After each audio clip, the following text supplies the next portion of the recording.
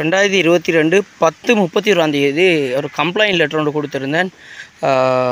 கம்ப்ளைண்ட்டை விட request letter கொடுத்துருந்தேன். பிரதேச செயலகத்துக்கும் அடுத்தது MS Taufiq member of parliament sir அவர்களுக்கும் ரெண்டு பேருக்கும் ரிக்வஸ்ட் லெட்டர் ஒன்று கொடுத்துருந்தேன். இந்த இந்த ஓடை இந்த ஓடை ரோட்டுன்றதை விட சின்ன ஓடைன்னு சொல்லலாம். இந்த ஓடை சம்மந்தமாக இந்த ரோட்டை கொஞ்சம் ஏதாவது புனர்நிர்மாணம் செஞ்சு தாங்கட்டு சொல்லி லெட்டர் ஒன்று கொடுத்து சரியாக இப்பொழுது ஒரு வருஷம் ஆயிட்டு அந்த லெட்டர் உங்களுக்கு ஒருக்கா காட்டுறேன். இது எம்எஸ் தௌஃபிக் சேருக்கு அனுப்பின லெட்டர் சாரி அவருக்கு அனுப்பின லெட்டர் தான் இதில் இருக்குது ரெண்டாயிரத்தி பன்னெண்டு பத்து முப்பத்தி ஒன்று பாதுகாப்பு சுவர் அமைத்து தரக்கோரல்னு ஒரு லெட்டர் ஒன்று கொடுத்துருந்தேன். ஒரு இருபது பேர் சைன் அடங்கலாக கொடுத்துருந்தேன். அந்த லெட்டரை வந்து இப்போ சேர் சொல்லியிருக்காங்க. நாட்டில் நிதி ஒதுக்கீடு நிதி பற்றாக்குறை நிதி ஒதுக்கீடு இல்லாததால் நான் செஞ்சு தரேன் முதல்ல ஏதாவது எதுக்கு நிதி ஒதுக்கினாலும் கட்டாயம் செஞ்சு தரேன்னு சொல்லியிருக்கார். அப்போ அதுக்கு தான் நான் காத்துட்ருக்கேன்.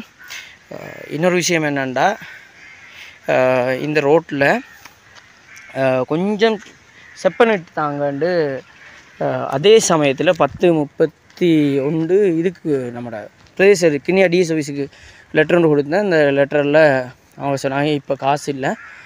அடுத்த வருஷம் செஞ்சு தரேன்ட்டு அப்போ அடுத்த வருஷம் காத்துட்டு இருந்தது ரிக்வஸ்ட் லெட்டர் கொடுத்து ஒன் இயர் ஆகிட்டு இன்னும் டிஎஸ் ஊடாக எந்த ரெஸ்பாண்டிங் வரல. இதுக்குரிய வேலைகளும் பார்க்கல. இது மாறி காலத்தில் இந்த இதனால் இது ஒரு டிப்பர் போனத்தால் வந்த வினை தான் இது. இப்போ டிப்பர் இதில் டிப்பர் பாறை ஊர்தி அதாவது வீடு காசு இருந்து வீடு கட்ட போனாலும் இதால் இந்த ரோட்டில் போகையில் போகிற சமயத்தில் ரோட்டு இடிபாடு அடையுது நிறைய. அப்போ இதை காரணம் கொண்டு எம்எஸ் தௌஃபிக் சேட்டஸ் பாதுகாப்பு ஷுவரும் அடுத்து டிஎஸ்கிட்ட இது கொஞ்சம் கிரவலும் போட்டு தாங்கடி சொன்னது. ஆனால் இதுவரையும் ஒரு வருஷம் ஒரு வருஷத்தை தாண்டிட்டு இதுவரை கட்டியும் எந்த இதுவுமே இல்லை. இது இதனுடாக நிறைய வாகனங்கள் போடுறது நிறைய கஷ்டம். இது மாறி காலத்தில் எப்படி இருக்குன்னு ஒரு ஃபோட்டோஸ் இருக்குது அந்த ஃபோட்டோ உங்களுக்கு போட்டு விடுறேன். பாருங்கள் எப்படி இருக்குன்ட்டு. பொறுத்திருந்து பார்ப்போம். இது எதிர்காலத்தில் செஞ்சு தருவாங்களா? இது இதே மாதிரியே ரெண்டாயிரத்தி இருபத்தி மூணு இப்போ ரெண்டாயிரத்தி முப்பத்தி மூன்று வரையும் இதே மாதிரி இருக்குமான்ட்டு வந்து பார்ப்போம். உங்களுக்கு இதில் சில வீடியோ கிளிப் இருக்குது அதை உங்களுக்கு போட்டு விடுறேன். பின்னுக்கு வர வீடியோவில்.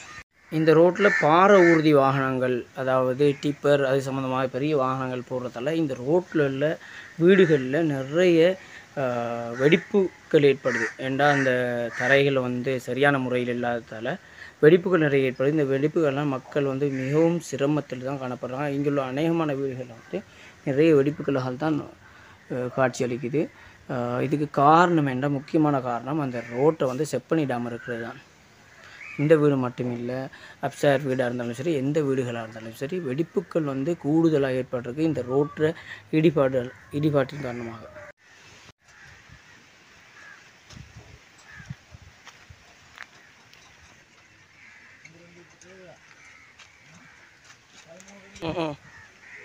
டிரைவருக்கு விளங்கணும் இல்லாட்டி பரிச்சையில் பாட்டிக்கு விளங்கணும்